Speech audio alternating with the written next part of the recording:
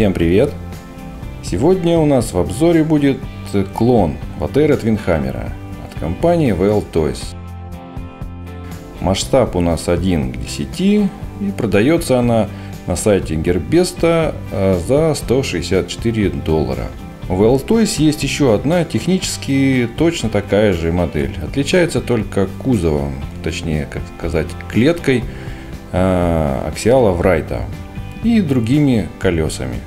Обзор на эту модель вы наверняка уже у меня видели. Но если кто-то не видел, в описании найдете ссылочку на этот обзор. Итак, эта модель почти полная копия Аватеры Твинхаммера с независимой подвеской впереди и заблокированным мостом сзади. И двухступенчатая у нее трансмиссия.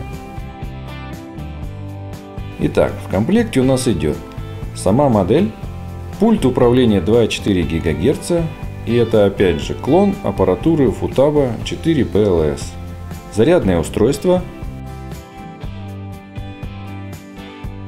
липо-аккумулятор и инструкция с баллонником. Основные размеры нашей модели. Длина 50 см, ширина 25 см. Весит модель примерно килограмм 800 грамм. Пульт управления. Как я уже сказал, это почти полностью, почти полный клон, точнее, а, футабовской аппаратуры. Пульт также четырехканальный, третий и четвертый каналы трехпозиционные и имеют настройки конечных точек. Все крутилки и вертелки расположены точно так же. Рулевое колесо точно такое же, очень мягкое и очень приятное на ощупь.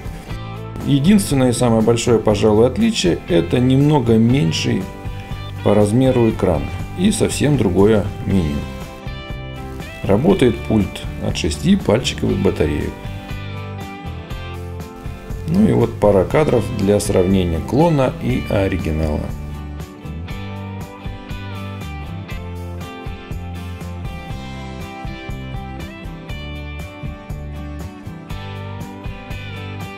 Теперь по электронике.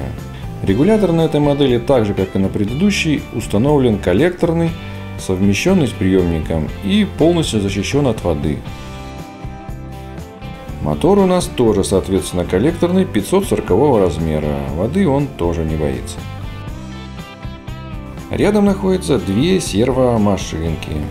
Одна вот для руля, а вторая для переключения передачи на трансмиссии. На мосту установлен пластиковый кардан с остальными крестовинами а к передней независимой подвеске идет CVT-привод. Шестерни в мосту и приводе металлические. Мост у нас полностью заблокированный. То есть перед у нас не заблокированный, а зад заблокирован полностью. Передняя подвеска у модели пластиковая. Металлические только держатели осей – и вместо костей используется ЦВД привода. Наконечники утяг пластиковые.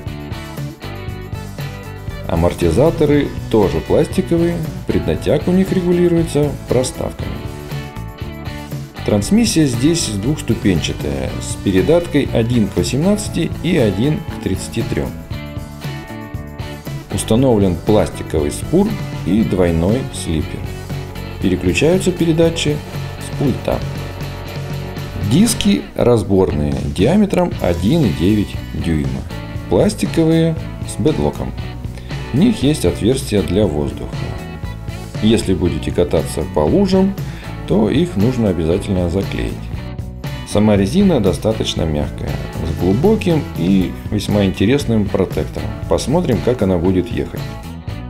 Диаметр колес 108 мм.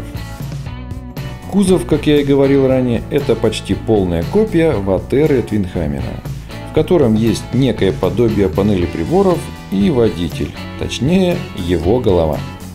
Сзади, как можете видеть, расположено запасное колесо.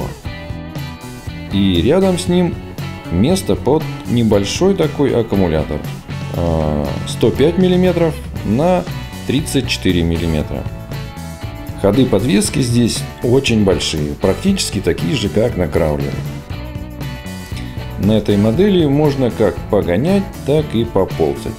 Это, конечно, не полноценная трофейка и не гонка, а что-то среднее. Но доставить массу удовольствия она вам точно сможет. Напомню еще раз, что это у нас склон Ватера Твинхаймера, а стоит она около 400 долларов, а VL Toys всего 160. Качество модели в этой просто отличное. За 20 покатушек на предыдущей модели ничего не сломалось. И напоследок несколько кадров для сравнения с предыдущей моей моделью. Ну вот, на этом, пожалуй, и все. Задавайте свои вопросы в комментариях и не забывайте ставить лайки. Всем до встречи и пока!